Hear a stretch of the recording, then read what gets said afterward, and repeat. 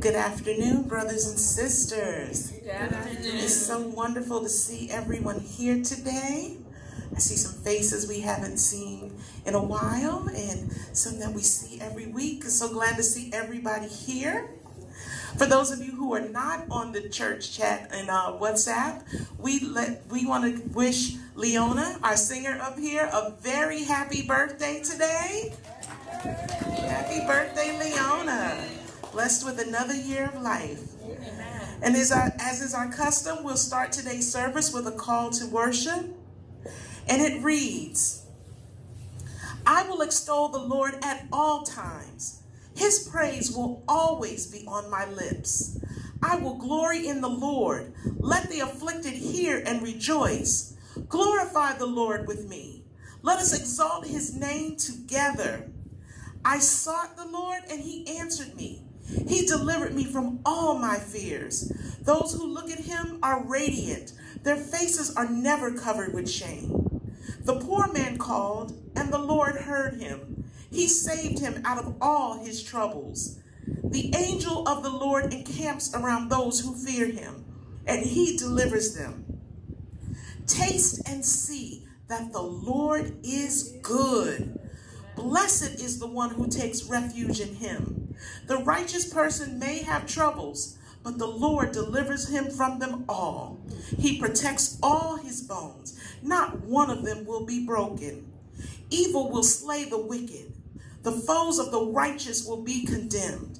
The Lord will rescue his servants. No one who takes refuge in him will be condemned. Amen. Amen. Let's bow our head and, and pray to our Lord. Dear Father God in heaven, Father, you are so, so good. As the saying says, you God is good all the time, and all the time God is good. We know that no matter what we go through, that you will be there to rescue us. Father, we can always depend on you. You are always there. Even when we suffer, we know that we are never, ever abandoned by you. You stand with us through the end. And so, Father, we thank you so much for your awesome love, for your protection, for the good, good Father that you are.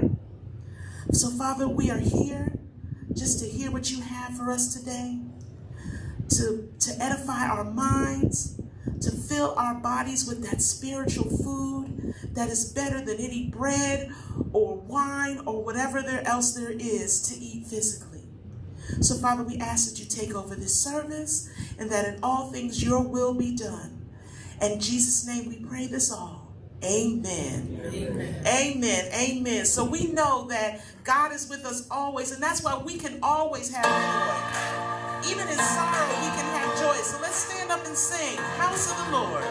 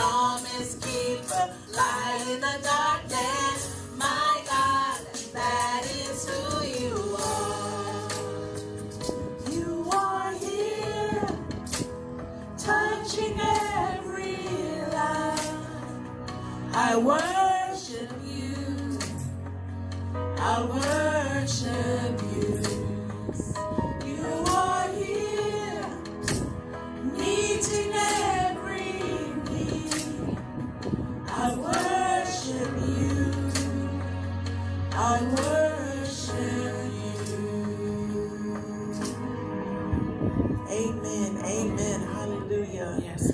And like it's said in the call to worship, God will never leave us alone. He is always there. In times of trouble, we just need to look to Him. The Lord is my shepherd. He goes before me. He goes before.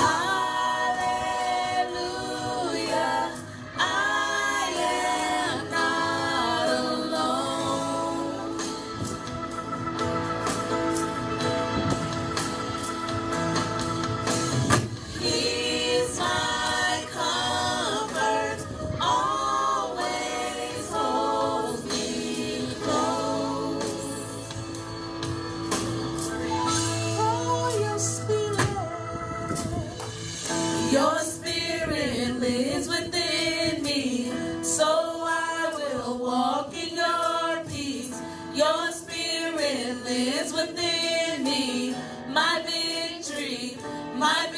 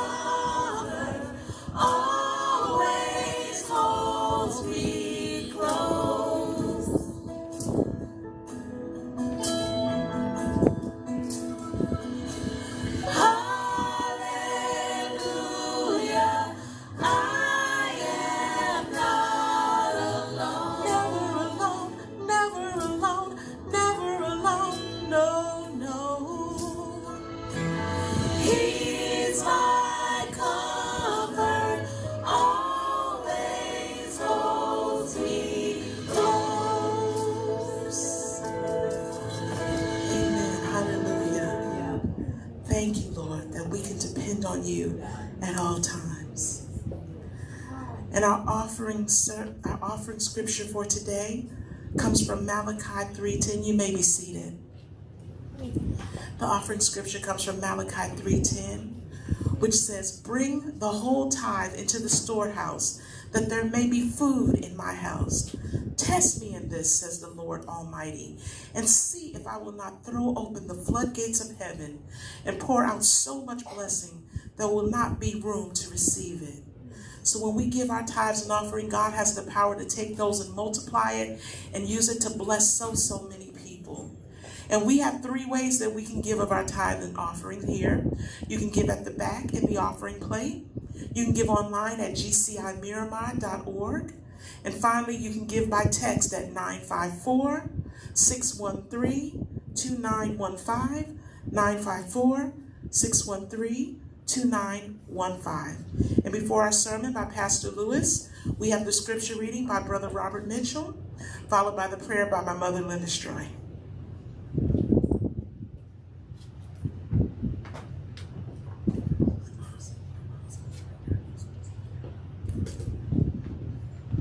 Good morning, brothers and sisters. Praise the Lord. Praise the Lord.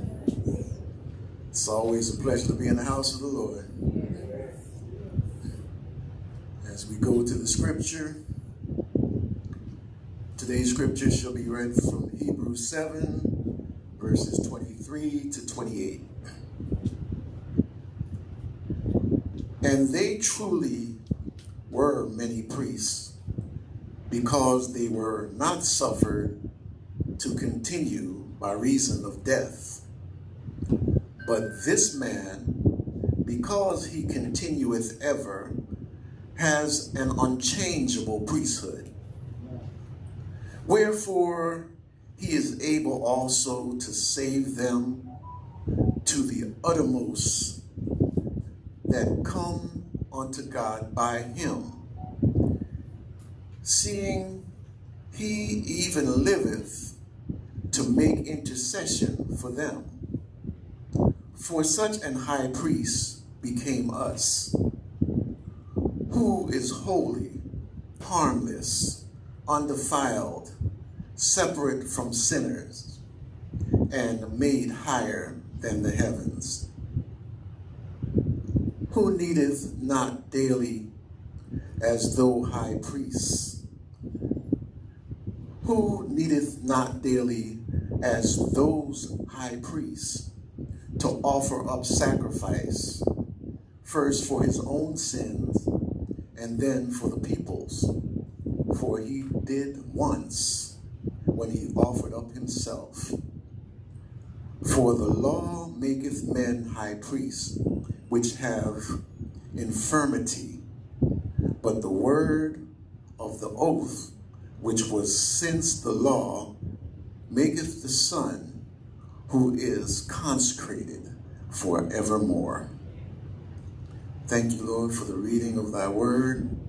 Glory to the Father, glory to the Son, glory to the Holy Ghost. Now and forever shall it be, a world without end. Amen. Thank you, Lord.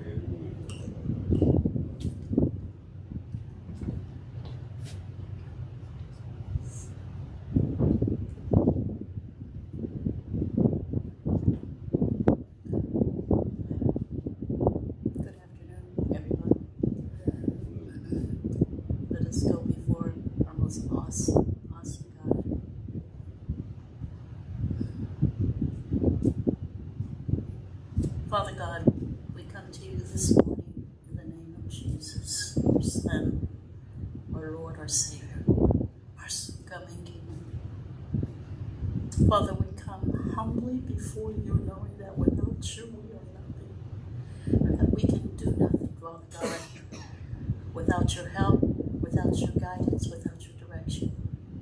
So, Father God, we thank you and we just say, we welcome you right now into His presence. Right here, Father God, because you said when two or three are gathered in your name, you are there in the midst. So we know that you are here. And we want to say thank you for being here. Thank you, Father God, for loving us, for caring for us, for bringing us safe through another week that we can come to give glory and honor and praise to your name. Now, Father God, we ask that you speak through the man that you're going to speak through. Father God, to bring forth your word. And Father God, that we have ears to hear. And Father God, that we will hear and not only hear, but take these words, Father God, and use them in our life during this week. Now, Father God, to just let your spirit teach us and guide us and lead us through this message today. So we just want to say thank you again for this day. Thank you again for your mercy, for your love, and most of all for your amazing grace.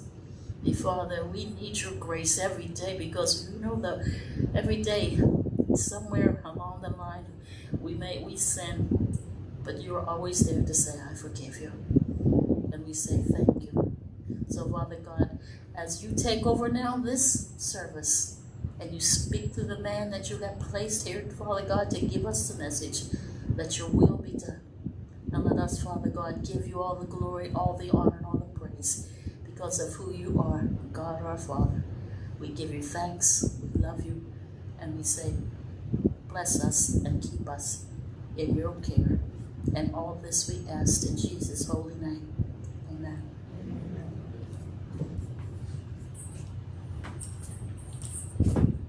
Good afternoon, everyone. Good to be here. Good to see all of you here today. That's wonderful. Wonderful. Smiley faces. And some, some people coming in dancing already to the music. And that's a good sign. That's a good sign to see brothers and sisters celebrate. I know there's issues and challenges we have, but when you come in dancing anyway, that's pretty good. That's pretty good.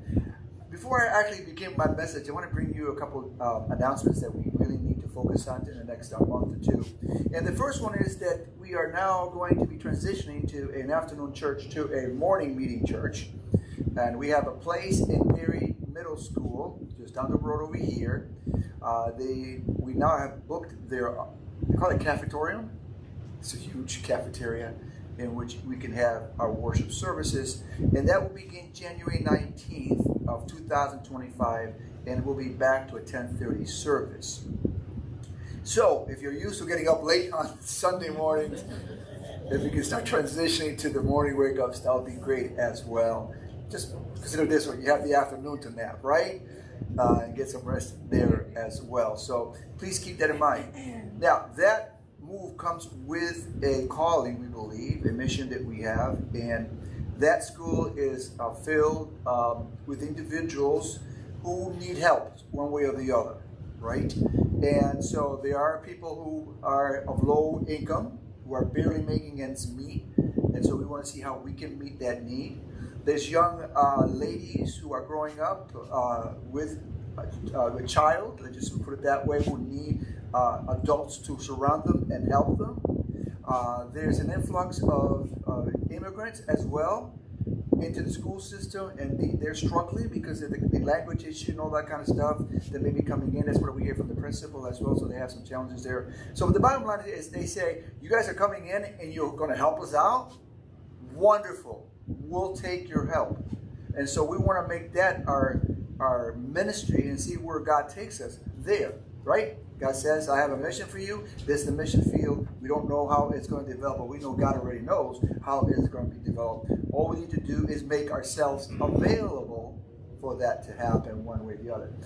So we have different ways to use our talents, our skills, our age ranges, if I'm going to use that, you know, the different elements. There's always uh, people who need people, their peers. Uh, they also need a little older adults, and they also need the grandmas and grandpas, right, who are going to be there to uh, the people of wisdom, right, to help them through that as well. That being said, then, uh, our first uh, act of service for them will be the Thanksgiving baskets. So we're going back to the Thanksgiving baskets, and they're asking for 40, 40 baskets plus. The city of Miramar also said, oh, you guys are doing that, so they volunteered to give us turkeys for as many as people as need turkey. So we'll see if it goes beyond 40. So you can imagine. It's going to be the head of this. It's going to be Rochelle. Thank you, Rochelle. I'm not sure if you were volunteered yourself or you were volunteered. uh, it happens in church quite a bit, right? But she already had a nice bag for them that just, just shows love when you look at that particular bag. So I saw that and that was wonderful. So how is it going to work? We're going to bring on November 17th, all the all the food is going to be brought here in the in just like warehouse, right? And then everybody who can make it on the 17th will start putting all those baskets together, or those bags, I should say, together, along with your own blessing and prayer over it, because that's very important. That that basket, that, that bag will reach the right people at the right time in their lives, and they will give praise to God. And we're also looking at putting something in there to say that we, we think of them, we are praying for them, and may they be blessed um, this, this time of the year. And if anytime they need some help, please contact us in one way, shape, or the other. So we'll begin this test of waters and see how that is going to turn out. So we thank you for that. So please keep that in mind. If you're looking for dates again, January 19th at Perry Education Center, that's, that's how they call it. And the Thanksgiving baskets will be the first one. After that, then of course we'll get together and do that. Yes, we have a clarification. I just want to make sure everyone understands, we only want to pack and pray over the baskets. The church is supplying everything that will go in the basket. There you go. So you don't have to worry about bringing anything. Just bring yourselves.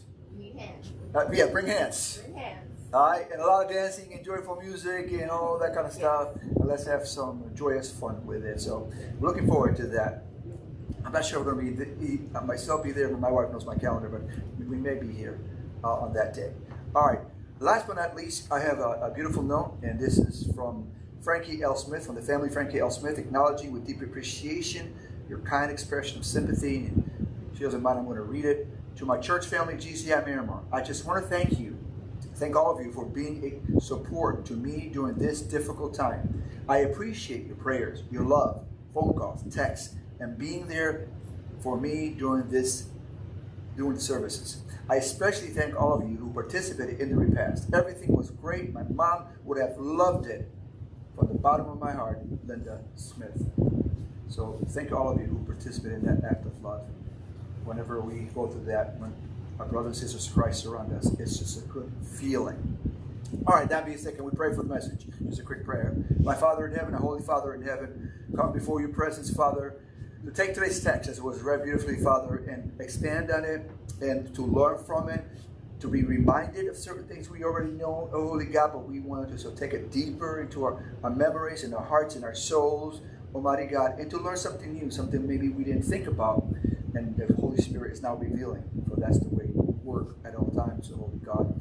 So we ask you to take over, mighty Holy Spirit, speak through me, and you and your word only, your thoughts only, O Holy God, and whatever will edify this congregation at this particular moment. We praise you. We thank you. You are the awesome and holy and mighty God. In Jesus' name we pray. Amen. Amen. All right. In the book of Mere Christianity, if you know the author C.S. Lewis in the book Mere Christianity, he writes that pride, pride is the greatest of all evil. Interesting.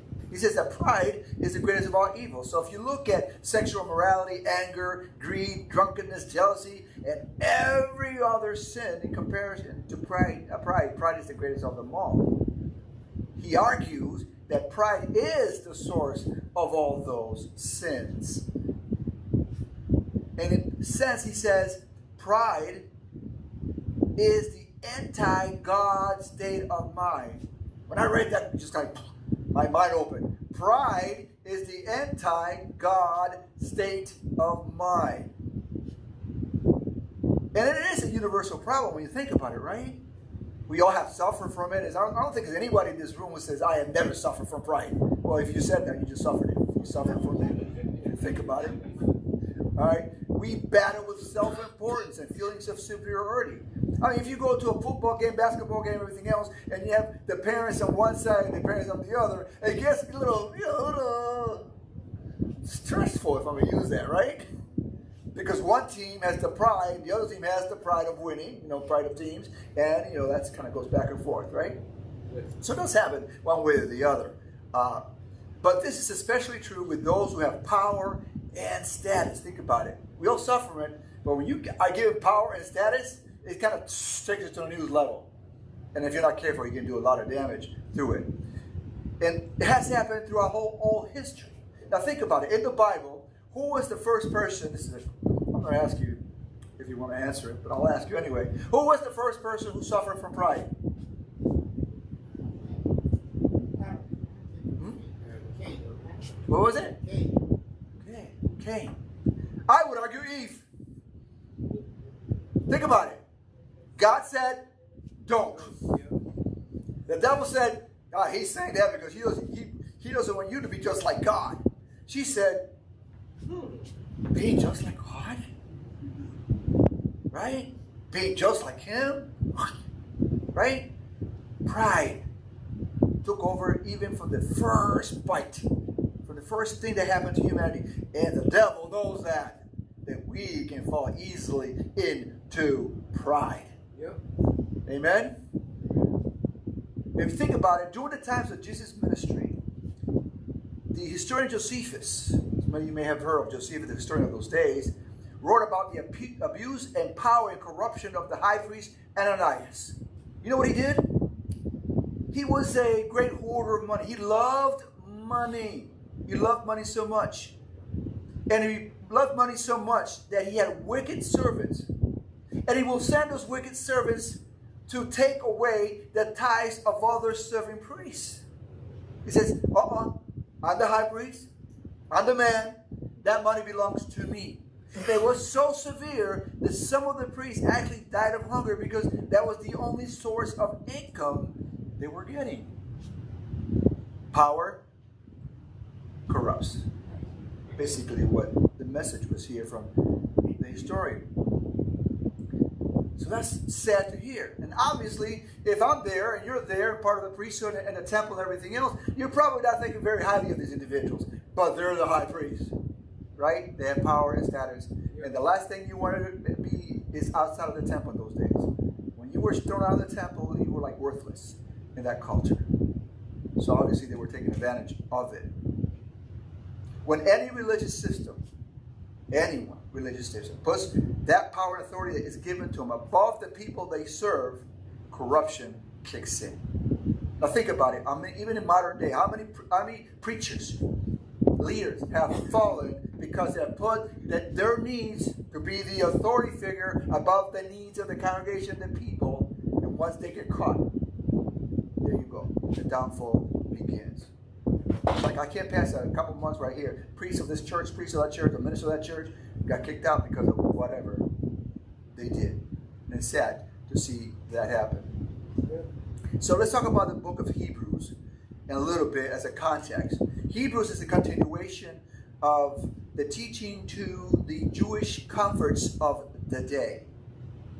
As mentioned in previous messages already in the book of Hebrews, it was a continuation. But for context, just remember that the Jewish people came from temple worship. They knew that high priest, they knew all the things that were going on, they were very attached to it. And all of a sudden, here comes Jesus, and they decided, by the power of the Holy Spirit, to join the Christian movement at that particular moment. But we cannot minimize the fact that they were cut off now from the roots that they were in. Their life, they were living, the Jewish connection, the roots, the formal cultural practices. And if you ever been to such changes in your life, right, where you have this comfort zone, and now a new world is introduced to you, or you know that middle piece is called "What is happening to my life." I can't. I want to go back to the old, but it's not there. But I'm really not really embracing the new. I am so so out of my avenues here, my world, and that's what was happening to them. So some of them actually started thinking maybe we should go back to the old way of life. I don't blame them because I think we all have gone through that. Maybe we should just go back to the old way of life. Like we say many times, you know, the old days, this was better, that was better. In the old days, this was better. Probably now, but we think because things look so bad now, maybe the old days seem better now, right? But it's just common for people to feel that way. And I believe that this is one of the reasons the author of Hebrews focuses on the role of the high priest in the Christian faith. So if we look at that context now, it's, the author is saying, and actually before even that, he was the author in Hebrew was taking all the Jewish practices and translating them into the role of Jesus, and that all of them pointed to Jesus. But now we're focusing on the role of the high priest as this uh, continue. So they kind of missed everything in, in, the, in, the, past, but one thing they probably didn't miss, and that was the role of Ananias and the corruption that he was going through. Like, I'll, I'll, I'll rather go back, but that Ananias priest, I'm not sure if that's something good to go, go back to. So now the author is saying, You now have your new high priest of the Christian faith, and his name is Jesus. Jesus. He wanted them to know that Jesus is the new high priest of the Jewish temple. They replaced the Jewish uh, high priest in the Jewish temple. Let me say it that way. And so he focuses on that role. In other words, this high priest was not like Ananias. Ananias was in it for himself, unfortunately. Jesus was never in it for himself. He had a different attitude when it comes to being the high priest of the Christian faith. So the author, to persuade them, he started doing a little contrast between the old high priest and the new high priest. And he started with this, and this is important. I want you all to know, the author says, that this Jesus, the high priest, was made perfect through suffering. His perfection came through suffering, as is mentioned in Hebrews chapter 7, verse 28, if you want to look it up. There it is. So here's what I want to do. I want to go over three things, three areas of that comparison. And if you want to take notes, you have surely have your notes there, uh, and go ahead and follow it with me. But I want to start with the first one. That is, Jesus is a permanent high priest. What does that mean? Well, let me read the scripture for you. It says that he holds his priesthood permanently because he continues for ever. Consequently, he is able for all time to save those who approach God through him. He's a savior, right? That's what he's saying. Since he always lives, wonderful, to make intercession for them.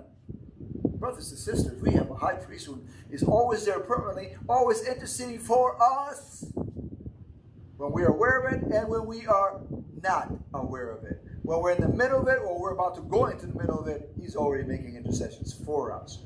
He's a high priest. So what he's saying to the Jews, the new Christians, is listen, those human priests, they have term limits. You know why? Because eventually they will die and they will be replaced. But I'm offering you, says the author, of saying that you now have a high priest that is for eternity. He will always be your high priest on this earth and for all eternity. Hallelujah. Oh, I love that. He will not pass away. Nothing can be taken away from him. When he says, I have my church, he says, I'm forever, and my church is forever. There is no end to this church. No one can possess it. It's everlasting. As the laws of the universe are everlasting, so is the church an everlasting church with a high priest known as Jesus, who is a permanent high priest. So, what does that mean? He gives us the assurance, you and me right now, that I will always be with you and never leave you and never forsake you, because I'm your high priest forever. Another, I would say, affirmation of what, what God means by that. He is understands and is willing through every difficulty you are going through now, have gone through, or about to go through, he is going to be there for you because he is the permanent high priest intercessing for you every second, minute, whatever you want to call it, of your life. And let that be an encouragement to all of us. So he is the permanent high priest. But here's another point. He's not only the permanent high priest, he also offered himself to all humanity as a living sacrifice. So that's my second point. Jesus is a high priest who offered himself. Look, notice what it says in the word. Unlike the other high priest, he had no need to offer sacrifices day after day. First for his own sins and then for those of the people. He this he did once and for all when he offered himself. He says, I have no sins. I am the perfect Son of God. Never sinned, lived without ever sinning. However, I will take all of your sins upon myself and be that lamb, the sacrificial lamb, who pay who died for the sins of the world. I offer myself. So he tells the Jewish Christians you don't need to go to the temple and kill animals just to make yourself righteous. You already have your righteous high priest within you. He is the living sacrifice for all sinners. He is greater than all priests. He is the high, the great high priest. So in his human likeness, he suffered like no other priest will ever suffer. In fact, he suffered like any other human being will ever suffer. Just to put you above himself when it came to saving you from this life. Hallelujah. Amen. So that we will never have to suffer the penalty of our own sins. We can have eternal life with him and through him despite our faults. Because he is a high priest. He will intercede. He confess. And he takes that upon himself. So that's point number two. But here's another one I want to give you. Jesus is the perfect and humble high priest. And I want to add humble there. He's perfect, but he's also a humble high priest. In Philippians chapter 2, verse 6 and 7, it says this about Jesus' humility. I love this verse. It's one of my favorites because it just overwhelms me. It's mind-boggling. Although he existed in the form of God, did not regard, regard equality with God as something to be grasped, but emptied himself, taking the form of what? A slave? Think about it.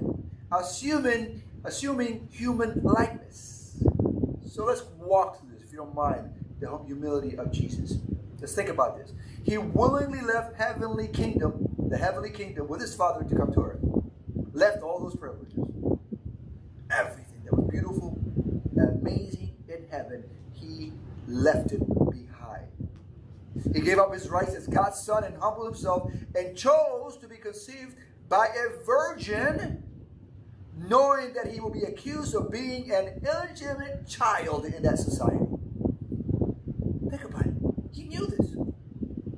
He chose a barn as his place of birth. He was king of kings. He was loyalty. A barn? Really?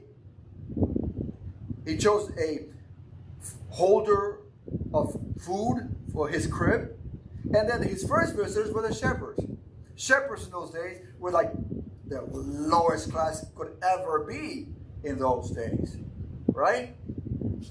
No one held them in high regard. And yet, Jesus chose them to be the first visitors of his birth. Right? There was no royalty there at all.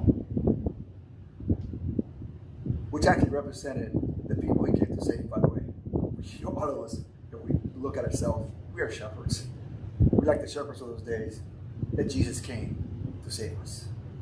We're not held in high regard in many, in many situations. But Jesus came to save us. Now let's go on because this is very important. He chose to be totally dependent on his earthly parents to meet his needs. God now dependent on human beings to meet his needs. And the parents were not wealthy. They were not wealthy. They were poor folks with an ordinary class status. In fact, Jesus chose to live in a town where people would say, Can any good thing come out of Nazareth? Right? And if you've ever been there, you know. I live in those neighborhoods. I'm sure many of you have lived in some neighborhoods where people will drive by and say, Not in that neighborhood. Don't go in that neighborhood. You know, no good thing lives in that neighborhood, right? Same thing was happening to the place where Jesus was born. No good thing can come out of that neighborhood, out of Nazareth. And so he chose to live in poverty, oppression, and neglect. And at the end of his ministry, when you think about it, he volunteered to wash his disciples' feet. So the scene is this. All the disciples come in into this room. They're all the disciples and Jesus. One of them had to volunteer to wash each other's feet. But they didn't want to. They were kind of going, hmm, I don't know, it's dirty. We don't have any servants. Who, who is going to serve? And I know some, some of them thought they were greater than the other. Well, I am, whomever. You are lower than I am, and you should do ahead and wash all of his feet. What did Jesus do? He got up, put the towel around him, and said, I am going to wash your feet. Isn't it mind-boggling? We think about it. And he also washed the feet of the one who betrayed him. He knew he was going to be betrayed. He still washed his feet. Humbleness. Humbleness. By the way, he was also accused by those who feared he would take away their source of pride, their power and wealth, and position in society. Wrongly accused by those authorities. He was constantly fo- followed by pompous and petty religious le- leaders, if you know that story. Everyone, they were just accusing him of all kinds of things. And he would just go on his way doing the Father's work. Nothing was going to deviate him from that. And then he was mocked. He chose to be mocked, by the way. He chose to be mocked, beaten, given a crown of thorns, and then he didn't say a thing to defend himself.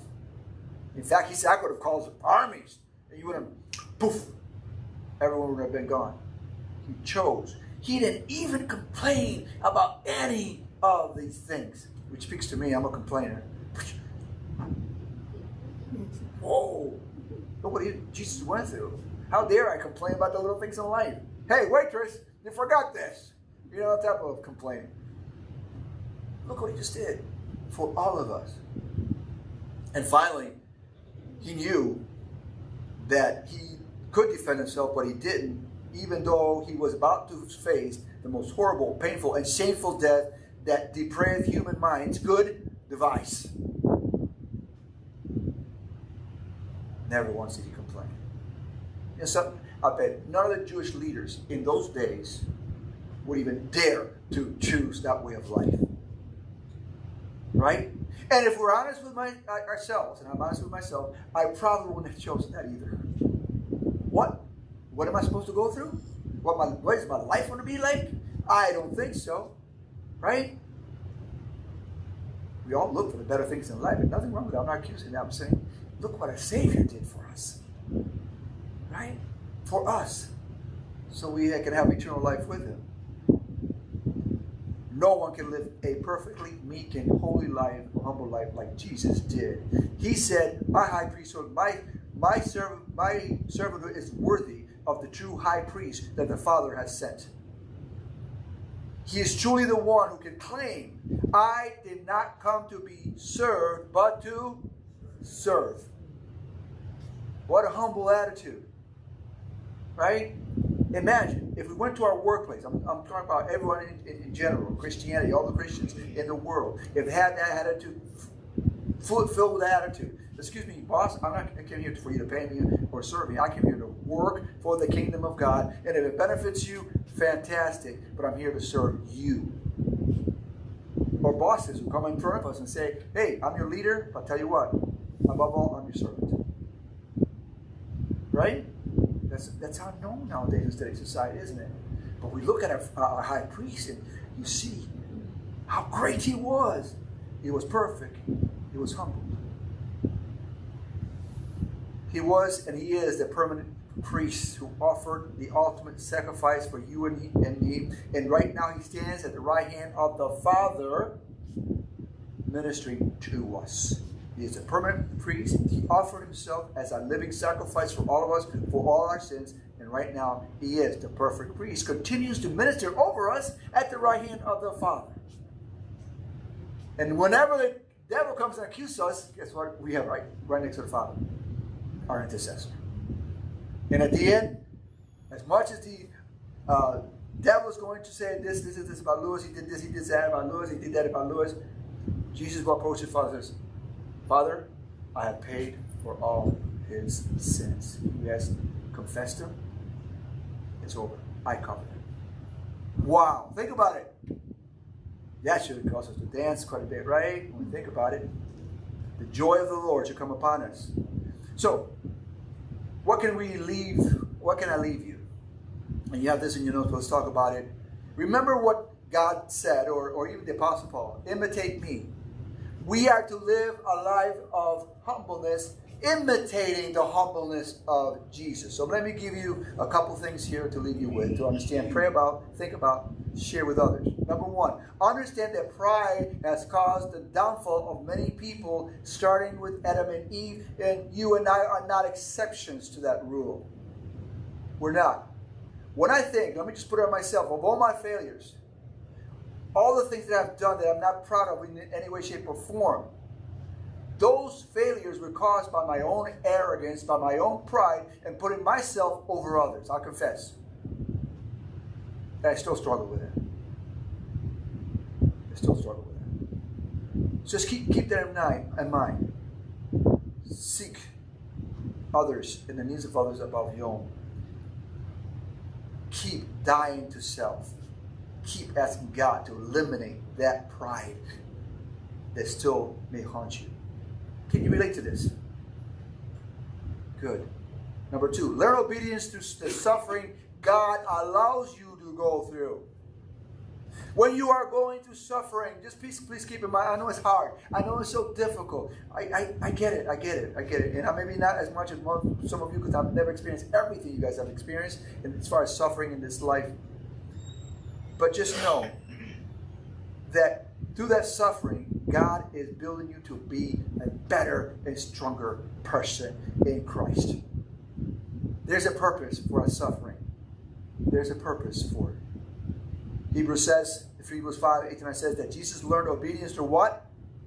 Suffering. We learn obedience through suffering.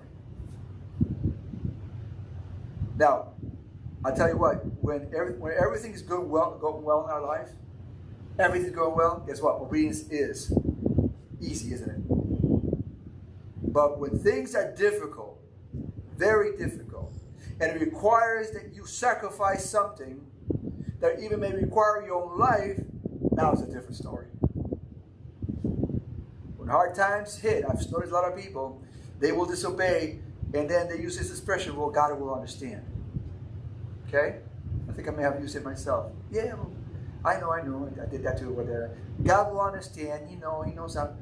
Uh, he'll forgive me. Really? God, you may be right, you may be wrong. I don't know. But what I'm saying is, what did you learn from it? How did you grow in Christ? How did you become more like Him in that path? That's what God will understand. Have you become more and more like me, says the Lord, and through it, through it all. Uh, the third one I want to leave you with is when we humbly and we are willing and humble and humble ourselves in the name of Jesus, we will always, always go closer and closer into a deep and abiding relationship with Him. Because now we can relate to what He went through for us as we go through it for others. Right? That reminds me a couple times I've helped people they were begging and everything. Oh, please, please tell me. And uh, then I helped them. I never got a call. I got a text. I never got a mail. I, I didn't get anything, right? And here is the it, it is the opposite. When I suffer and I feel like Jesus is not there, that Jesus is not helping me, I don't know what to do. He is there with me, right? And at the end of it all, He wants me to realize that that path drew, me closer and closer and closer to Him, truly abiding in Him all together, holistically, as people call it. And through it all, we understand that at the end of it all, you know, all of you, I'm not talking, I'm talking to people who are experiencing this, that at the end of that suffering, you look back and you say, Thank you, Jesus. Yeah. Thank you, Jesus. You were with me. And I, I forgive you for the times I doubted. Right? But I know that the next one that may come, come on my way, I know that you're always going to be there for me, even though, again, I may be tested as we walk through it. He is our permanent high priest, and there is there, he's always there for us, and will always be there for us. He's working for you day and night without sleep. Every single day. Jesus, at the end of this whole thing, is my whole closing message, has given this holy nation, this holy nation, I'm pointing all to you, this holy nation, this royal priesthood, an example to follow. Because the Bible is a, I'm a, I'm a, a part of a holy nation. I'm part of a holy priesthood. And the, my high priest is training me to be just like him in the way I handle things. So I'm leaving you with this. Embrace the freedom and blessings that God offers you as your permanent, perfect, and humble high priest who is constantly lifting you up in his everlasting love. Let us pray. Father in heaven, thank you so much. Praise your holy name, Father. Pray that you have spoken by the power of your Holy Spirit, Almighty God. Thank you so much. Thank you for Jesus, the only one, the holy one, the mighty one, who offered himself to live in this broken world, in this sinful world, in this corrupt world, and live the holy life to become the perfect high priest who suffered, who learned obedience through suffering. Oh, holy mighty God, thank you. And thank you that you have chosen us as your future leaders in the kingdom to come to become more and more like him. Glory be to you, O God Messiah. We pray these things in the name and the authority of our Lord and Savior Jesus Christ. Amen. Hallelujah.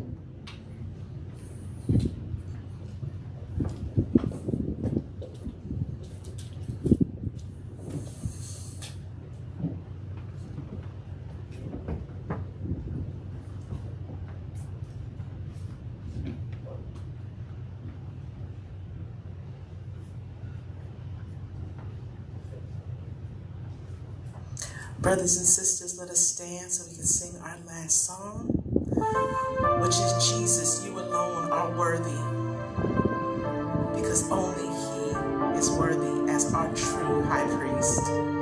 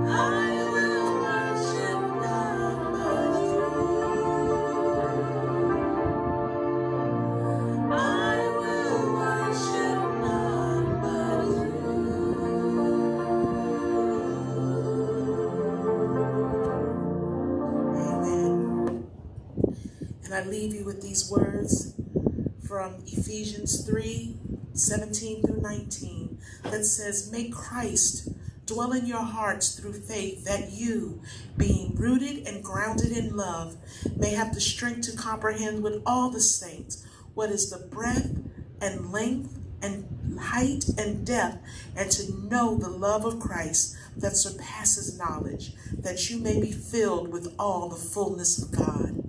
And all God's children said, Amen. Amen. Thank you all for coming. We'll see you here next week.